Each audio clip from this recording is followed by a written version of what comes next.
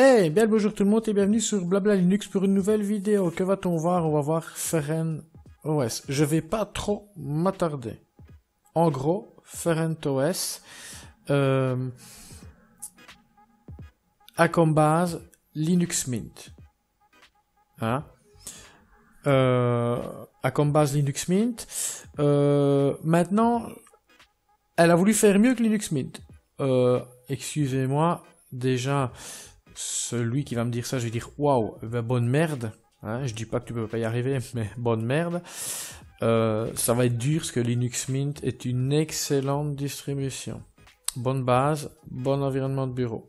Donc ça va être dur. Ben voilà, ici pour moi ils ont ils ont échoué. Ok. Alors, ce qu'on va déjà faire, on va démarrer VirtualBox. Je vais démarrer une Mint 18.2 Cinnamon. Voilà. On va démarrer euh, Feren OS. Voilà. Alors, retenez euh, juste que euh, c'est l'installateur par défaut de Linux Mint hein, qui est utilisé sous Feren OS. Ok.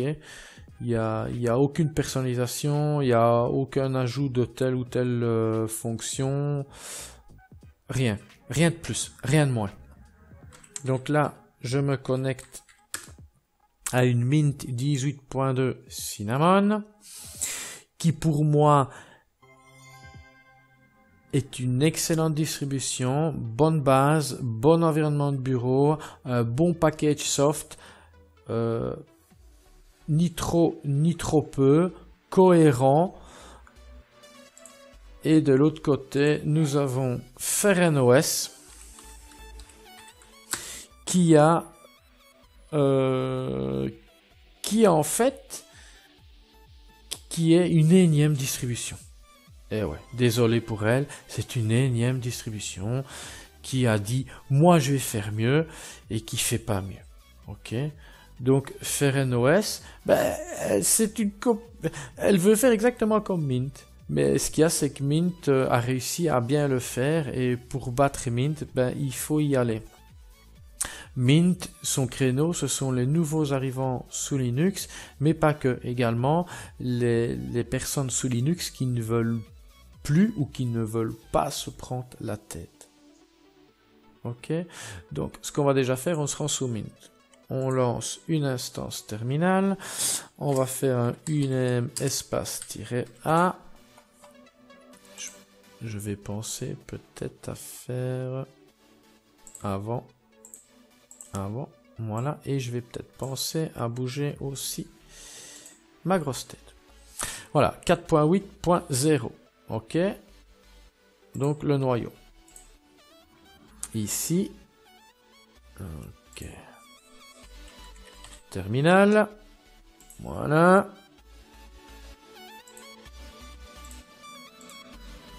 Voilà. C'est identiquement le, même. Ok, une m Voilà. Par contre, nous allons faire un sudo apt Installe stop, je valide par entrée enter, je m'authentifie, je valide par entrée enter. On va faire le même de l'autre côté, donc sudo apt installe htop, entrée enter, je m'authentifie, entrée enter.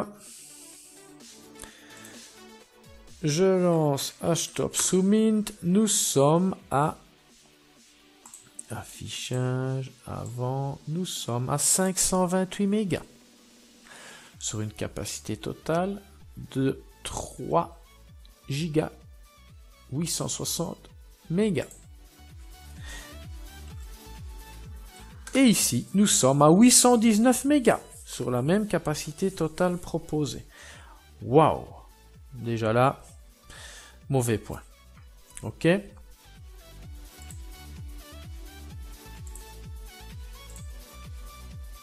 Alors, autre mauvais point, comme je l'ai dit, Mint a un excellent package logiciel. Ni trop ni trop peu, et, ceux qui ont été choisis l'ont bien été.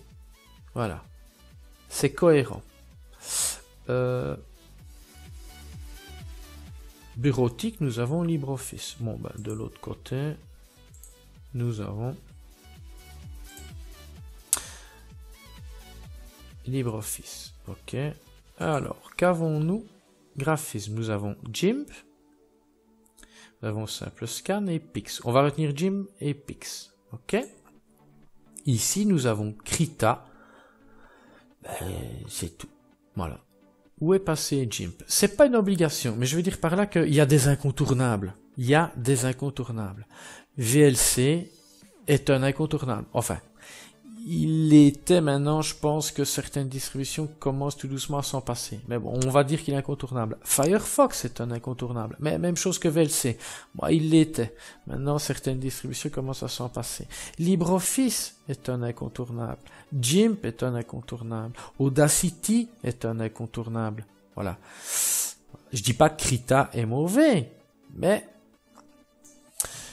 alors, Internet, nous avons, nous avons Vivaldi comme navigateur par défaut.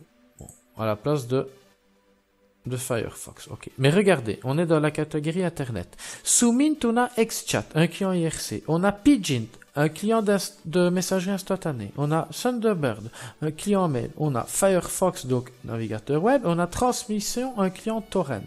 De l'autre côté, tout ça, on n'a pas. Alors pourquoi est-ce qu'il et ce qu'ils disent, nous, on va proposer un, un, un, gros package soft qui va pouvoir répondre à tous les besoins.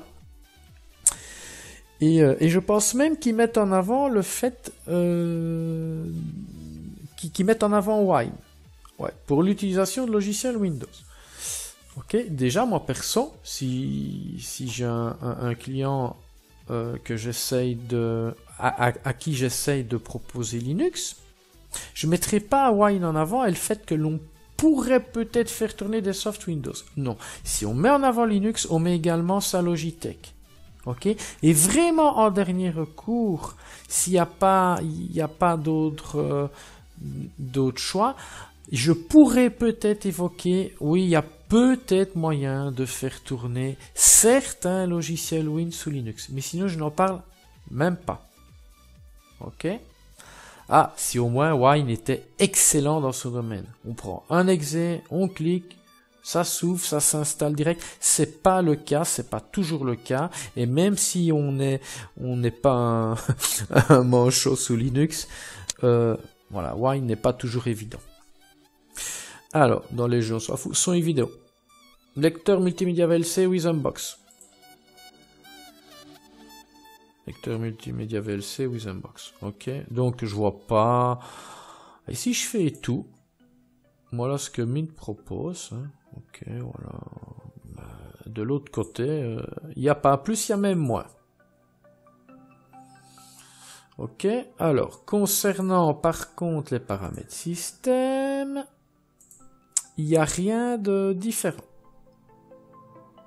Alors, par contre, oui, ne dites pas, ouais, il est génial le menu, ils ont bien bossé, création d'un nouveau menu. Non, non, non, non, non. Si je fais un clic droit ici, à propos, on voit quoi?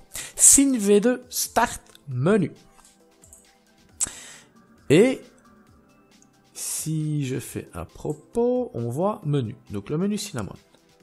C'est pas pour autant qu'ils ont créé un nouveau menu.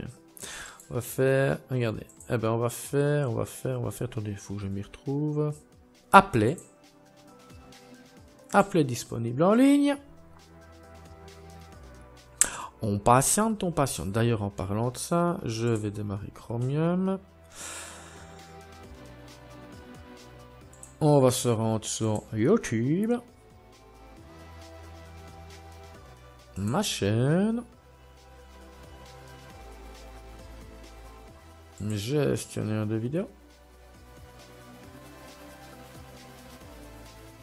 Et je pense que si je descends...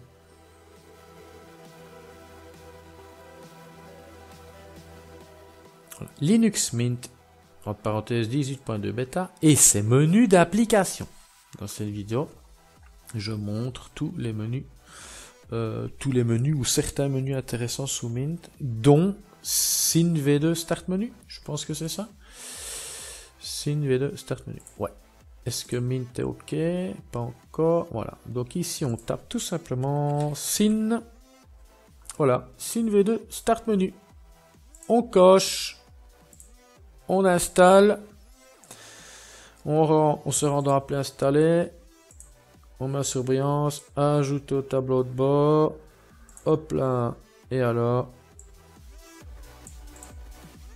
Clic droit.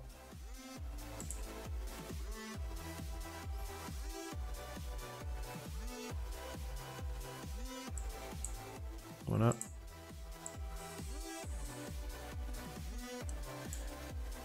Voilà.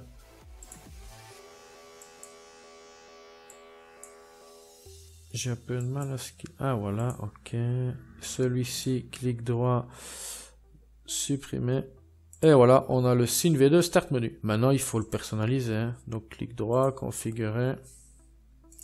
Comme, comme de l'autre côté. Clic droit, configurer. Ok, donc rien. Rien de nouveau. Pas de création. Ok. Euh, ben voilà, écoutez, c'est à peu près tout. Je vais pas m'éterniser sur... Euh, ah ben si, si, si, pardon, pardon, pardon, pardon. Euh, là, en fait, c'est le réglage du thème par les paramètres système proposés par Cinnamon. Ok, mais regardez, Tamer. Vous allez pouvoir en un clic modifier l'apparence générale de votre distribution. Exemple, ici je suis euh, dans la catégorie Feren OS Theme. Si je veux appliquer un thème Windows, je clique sur Windows Theme, par exemple, je sais pas Windows 10, euh, Light, Windows 10 thème n'est pas installé, vous voulez l'installer? Oui. Je m'authentifie, je valide par entrée Winter, on patiente et je pense qu'il va peut-être falloir redémarrer, on va voir. J'espère déjà que ça va aller vite. Alors, petite chose qu'on peut faire, c'est paramètres système. Ça, c'est un conquis, hein. mais un conquis, on peut pas intervenir dessus. Si je fais un clic gauche, un clic droit, il n'y a rien. Donc, ce qu'on peut faire, c'est appliquer... Non, non, pas application préférée, je me trompe. Hop là. Application démarrage. Regardez, il y a un conquis hein, qui se lance. Ok. Il y a aussi le support pour Nvidia Prime. Voilà. C'est fait. C'est bon. Donc si je clique euh, là.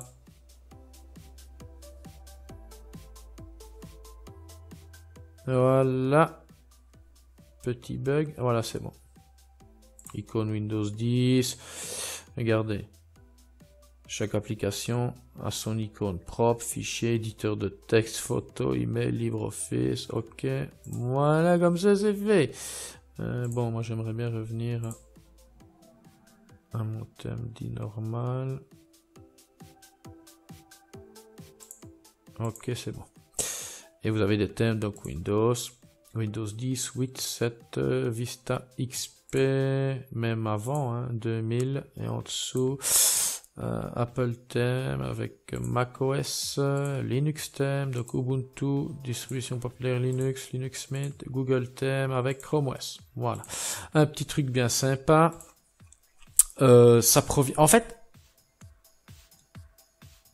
pense que le petit, le petit gestionnaire que je viens de vous montrer pour appliquer un thème en un clic, ça vient de chez Zorin. Et il n'y a pas que ça qui vient de chez Zorin. Donc Zorin OS. Euh, regardez, Web Browser Manager. Je lance, je m'authentifie parce que le navigateur web par défaut c'est Vivaldi. Là je viens de cliquer pour le lancer. Donc je pense que Mint on n'en a plus besoin. Voilà. On peut le paramétrer. Voilà. Voilà. Brouillard. Étape suivante. Ça je m'en fous. Voilà. On a Vivaldi. Ok. Français. Ouais, français, c'est bon. Je ferme. Alors, j'aimerais un autre navigateur. Eh ben, je vais installer Firefox, tiens. Oui. On va patienter. Alors, vous avez vu, euh, ici, ils ont préféré une zone de notif visible, plus une zone de notif cachée ou invisible, regardez. Voilà. On va patienter en attendant que Firefox s'installe. Alors j'ai remarqué quand même un peu de franglais. À quelques endroits. Et notamment... Notamment... Ouais. Dans certains softs. Et je pense, regardez bien, je suis en train d'installer Firefox et je me demande, parce que si je me rends dans paramètres système, je vais faire langue. Voilà. Ah, Firefox est, est installé. Ok, regardez. Langue, donc French Belgium, région French Belgium, euh, support des langues, 26 langues installées, je clique, je m'authentifie, je valide par entrée ou enter, et je vais aller vérifier. Regardez, French Belgium. Certains paquets linguistiques sont manquants. Super.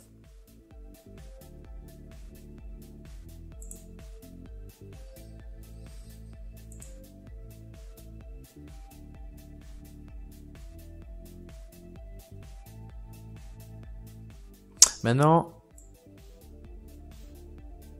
j'ai pas mis la distribution à jour.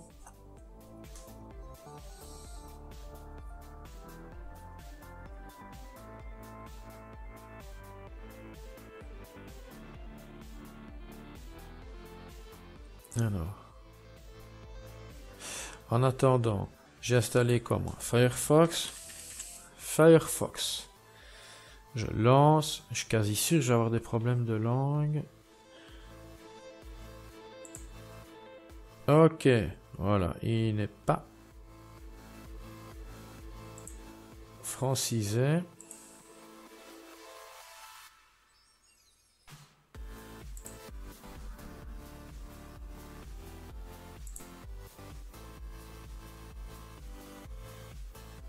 Hein, hein? Ok, c'est fait. Génial. Donc là c'est fait. Appliquer à tout le système. Je m'authentifie, je valide par entrée ou enter. Alors. Merde. On va relancer web. Browser Manager, je m'authentifie, je valide par entrée ou enter. Je vais essayer d'installer Chromium. Yes. Et vous allez voir.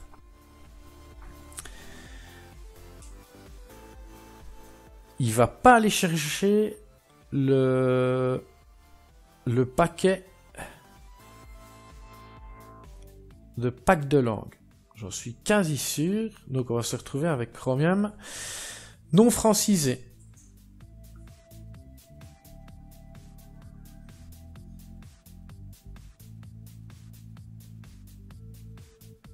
On va patienter avant de tirer trop vite des conclusions, mais je pense que ça va être ça.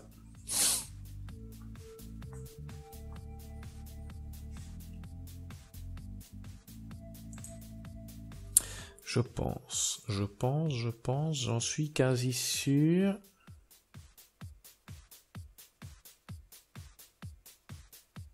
Et alors elle est moins réactive, hein, moins réactive, un peu plus lourde sa maman, Linux Mint. La fille est plus lourde que la mère. Ah, désolé, désolé, c'est ainsi.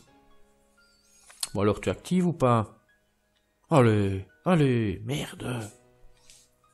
Ah, j'ai envie que ça avance.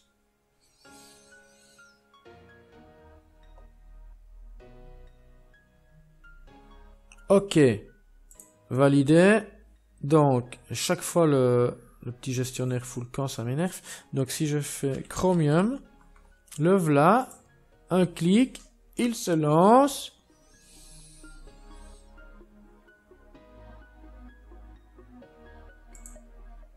Et il n'est pas en français. Génial. Donc je ferme, je vais faire SYN pour gestionnaire de paquets synaptiques. Je m'authentifie, je valide par entrée Winter. Alors. Close. On va faire une recherche. On va faire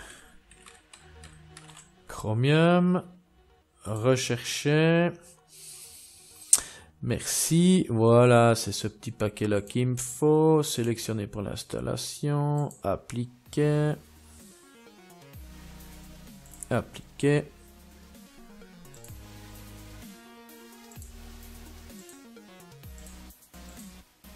Et c'est déjà fait. Ça va vite, hein Voilà. Et en théorie, en théorie, Chromium. En français. Ouais. Voilà. Maintenant, ce qu'on va quand même essayer de faire, c'est de rappeler le petit gestionnaire. On s'authentifie, on valide par Winter. Alors, je ne veux plus, par exemple, euh, je veux plus, je veux plus Firefox. Voilà. Voulez-vous le désinstaller? Oui. On va voir. Hein. Euh, valider. Il n'y a plus de Firefox. Génial. Installation des installations, ça marche. Euh, que dire de plus? Rien. Voilà, j'ai déjà fait le tour. Ok. Euh, pour moi, euh, cette distribution euh, me gêne pas. Voilà, bah, elle est là, elle est là. Hein. Je dois quand même respecter les, personnes qui qui l'ont sorti. maintenant, pourquoi? Voilà, je sais pas ce qu'elle apporte. En tout cas, elle apporte rien de plus et rien de différent. Voilà. et si son but c'était de faire mieux que Mint, c'est raté. Voilà, tout simplement. Moi, je vous dis bye bye une prochaine, c'était Annie pour Blabla Linux. Ciao